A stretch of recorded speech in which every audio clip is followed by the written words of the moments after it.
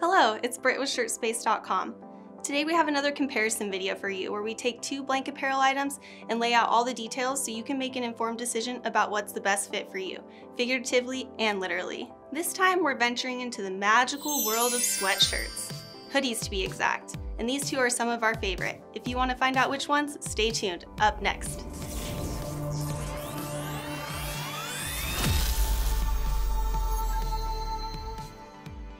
Double the hood is double good. You would think, right? Well, not necessarily if you're trying to start your own apparel brand or you need to outfit a large group or organization and the sweatshirts need to be consistent. Well, we're here to tell you all the specs so you can decide which one is the right one to fit your needs. Let's start with the weight to introduce these two sweatshirts.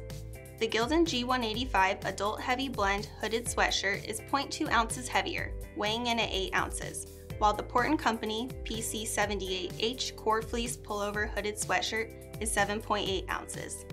They are both 50-50 cotton polyester fleece blends with the exception of the G185 that has a few heathered colors that are a 60% cotton and 40% polyester blend.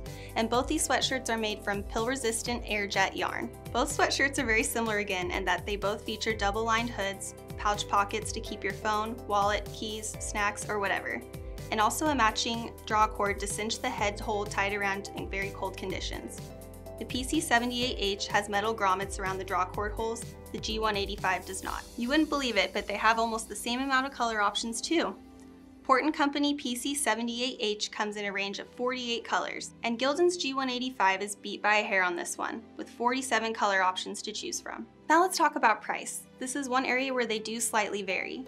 The Gildan G185 comes in at a few dollars less than the PC78H. This might be a deal breaker for you if you're working with a budget. And if you're ordering for large bulk orders, keep in mind this can quickly add up. These sweatshirts are also awesome for apparel decoration. If you're a screen printer, you work with heat transfer vinyl, direct to garment printing, or embroidery, you're set to go and craft as you wish. Tie dyers. You might want to continue your search for a sweatshirt that has a higher percentage of cotton so you'll have more vibrant colors for your results. So how do we choose between two sweatshirts that have been almost neck and neck this entire time besides price? Well, I'll give you my thoughts, but just keep in mind it's my opinion, you might feel differently. If you have the room in your budget, I do like the PC78H a little more, but I do wear the Gildan G185 all the time as well.